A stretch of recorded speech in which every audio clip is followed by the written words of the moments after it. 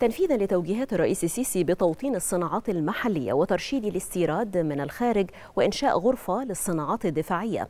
أصدرت القيادة العامة للقوات المسلحة أوامرها بتنظيم مؤتمرات ومعارض لاحتياجات القوات المسلحة من قطع الغيار ومستلزمات التأمين الفني للصناعات الدفاعية التي يتم تدبيرها من الخارج.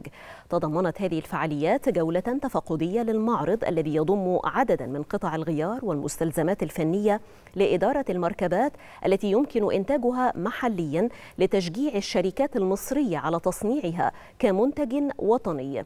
ويأتي ذلك بالتعاون مع اتحاد الصناعات المصرية وجهات التصنيع الحربية ومختلف الشركات الصناعية بهدف تعميق التصنيع الوطني حيث قامت إدارة المركبات للقوات المسلحة بتنظيم مؤتمر ومعرض لقطع الغيار ومستلزمات التأمين الفني.